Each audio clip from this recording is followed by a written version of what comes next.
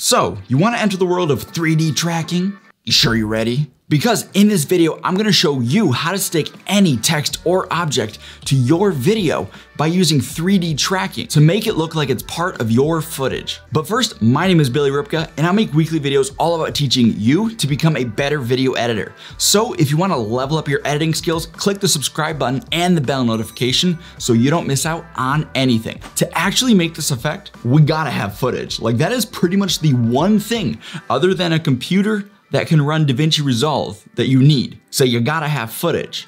Now, if you want my footage, then you can click the link in the description to actually download it completely for free. So once you have that, we're gonna step into my office. So now on the timeline, I have my clip right here. So the first thing I wanna do before I start tracking is I'm actually gonna duplicate this clip by holding Alt and clicking and dragging this clip above to make two copies. Then I'm gonna turn off this video layer too. And I'm doing this for a certain reason and I'm gonna get to it a little later on in the video. So stay tuned for that. And now we're gonna get into Fusion. Don't freak out. You got this, all right? I'm gonna walk you step by step through this process. So Let's do this. So inside of Fusion, we have our media in one right here and our media out one. Now the first thing I wanna do is I'm gonna add in the camera tracker. So I'm gonna hit control and spacebar to pull up my select tools menu right here and type in camera and find camera tracker, click on it and hit add. And then we can just add it in and then just grab it, move it around, make sure that it's connected because if it is not, then you are not gonna track jack. Now with the camera tracker selected, we're gonna go to the inspector tab right here. And if you don't have it open, just click on it and open it up right there. Then I'm gonna check preview auto track locations. Then I'm gonna check enable bidirectional tracking. And this is pretty much just a really fancy way of saying that it's gonna track forwards and backwards. Okay, you following? Great. Now you can see that we have a bunch of points right here, but we can add more points by decreasing the minimum feature separation just like this. You can bring it down from 0.5 to, I don't know, let's just say like four. And that, that should be pretty good right there. And this is just gonna give us more points. And we can also go to detection threshold and bring that up ever so slightly. Once you have that, you can click auto track, kick back, relax, do your thing, you know, just have a coffee, go to the movies, get married, do whatever the heck you want. I don't care. You come back, it's probably just gonna be finishing up. It actually doesn't take that long, you know. Probably not long enough to get married, but it could be fast if you're in Vegas, you know. Also, if you're finding value in this, hit the like button. It helps the video out in its ranking so much, you have no idea. I appreciate that. So once Resolve is done tracking our footage, we can actually move over to the solve menu right here. And if we look down to the bottom, we can see that we have 4,046 tracking points. And that's awesome. Like that is a lot of tracking points. However, some of them are probably not good. So we wanna get rid of those. We wanna kill them off. Well, to do that, I'm just gonna bring down the maximum track error from 15 just ever so slightly because it's gonna select a lot of our points right here. And we don't wanna select too many because then we're just starting to delete a lot of the good tracking data that we got. But because we have so many points right here, I'm gonna go ahead and actually hit delete. And you can see that it whittles our number down to about 1800. Once we do that, I'm gonna go up here and hit solve.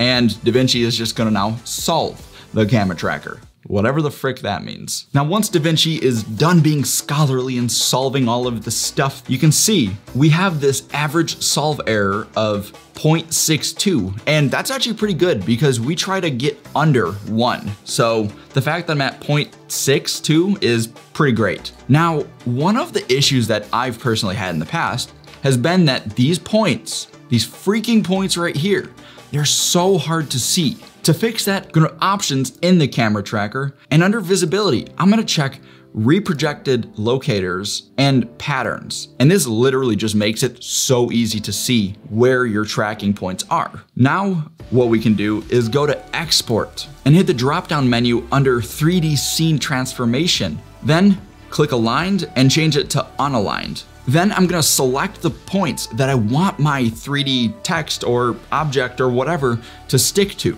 So I wanna stick my text to this tower right here. So I'm just gonna highlight it by clicking and dragging and just zoom in a little to make sure that I actually have everything. And I can also select and deselect points by holding control and then just clicking on them. Once I have these points selected, I'm gonna go down here to origin and hit set from origin. So what this is gonna do is when we import something into the 3D space, it's gonna originate there and it's gonna stick to that location. Now I'm gonna go back to the unaligned right here and change it back to aligned. Then we're gonna click export. And now all of these different nodes have just kind of jumped up on screen right here. So I'm gonna actually just go ahead and delete the point cloud 3D and the ground plane because I don't need it for this. And also I'm gonna go ahead and delete this camera tracker because we don't need it at this point. So you just get that out of here. All of the tracking data is actually inside of this camera 3D node. And I'm actually gonna grab this output right here and connect it to our media out node like that. Now I'm gonna move up to this hotbar right here and grab this text 3D node, then just connect it to the merge 3D like so and type whatever the heck you want in. I'm just gonna type in tracker. You can change to whatever font you want. A. Then I'm gonna break down the size of this text because it's a lot, like it's it's huge. So that's pretty good. Then I'm gonna move to the transform tab right here and I'm gonna position it using the X and the Y, but I'm gonna kind of try to stay away from the Z because once we start moving forwards and backwards on our Z axis, it's gonna mess up our tracking data and, and we really don't wanna do that. So if we want to increase or decrease the size, we can use scale right here and that does literally the same exact thing. So I'll just zoom in and position it a little better. And we can also change the rotation by using the X, Y, and Z. This Z axis for the rotation isn't gonna really mess anything up. So it's just that Z under the translation that we want to make sure we're not playing with too much. Now, once you've positioned your text where you want it, we can go to the shading tab. Right now, it's really bright and it does stand out like almost unnaturally. You can bring down the opacity to like 90 or so. Pretty much whatever looks good, do it. And now once we've done that, we've essentially tracked our text to this building. So if we take a look at it, you'll see that it actually sticks right to it. But let's say you actually wanna have your text go behind something like this tower right here. Well, there's a few ways we can go about this. The first way is to grab our output of the media in right here and connect it with our camera tracker one. Then it's gonna create a merge node and our text is gonna go away. What we'll do though is grab a polygon mask right here and drag it down below the merge one. Then just connect it up like that. So all we're gonna do now is trace the outline of our tower like this. So now the text will disappear in this one section right here. And if I just keep moving forward, I can highlight the mask and just reposition it so that it stays pretty accurately on our tower. And you can just adjust each point if need be. And you can go ahead and manually do this throughout the whole clip. And it can be a little tedious, I'm not gonna lie. So another way we can go about it is instead of doing this, and I'm just gonna go ahead and delete those right there, I'm gonna go back to the edit tab. And you remember this copy that we made in the beginning? Turn that on. Then go to the color tab. And this is actually where I'm gonna do all of my masking because the color tab has auto track mask. I'll go down to my Windows tab right here and click on this pen tool and then just zoom in. So you can draw a mask around the tower and you can take a minute and be super precise because obviously the more time you spend on the mask, the better.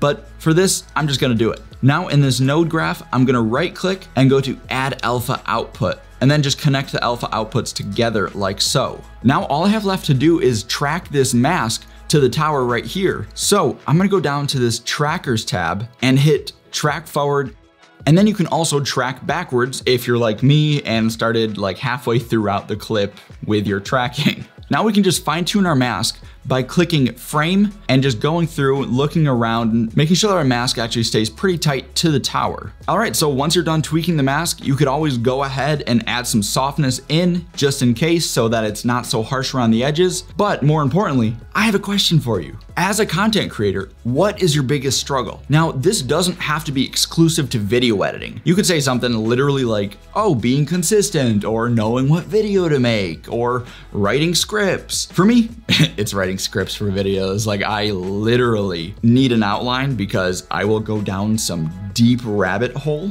but also I hate writing. So it's just a struggle, right? If you want more videos like this, click on the top for a video with all of my DaVinci Resolve tutorials or click on the bottom for a video that YouTube thinks that you would like. But until next one, peace.